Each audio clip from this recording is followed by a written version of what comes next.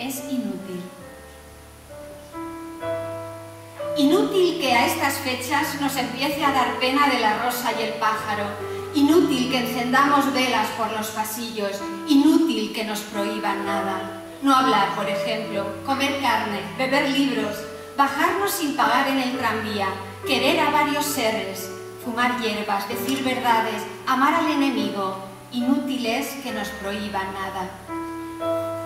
En los diarios vienen circulares, papeles hay pegados en la esquina que prohíben comer pájaros fritos. ¿Y no prohíben comer hombres asados? ¿Con dientes de metralla comer hombres desnudos?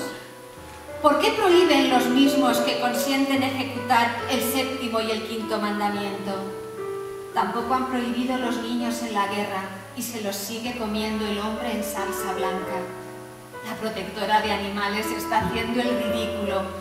Tampoco han prohibido comer las inocentes pescadillas, los tiernos y purísimos corderos, las melancólicas lubinas, las perdices.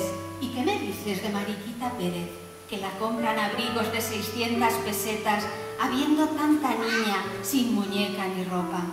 Los enfermos trabajan, los ancianos ejercen, el opio en tal café puede comprarse, la juventud se vende. Todo esto está oficialmente permitido. Comprended y pensad, nada se arregla con tener buenos sentimientos. Hay que tener arranque y ganas de gritar.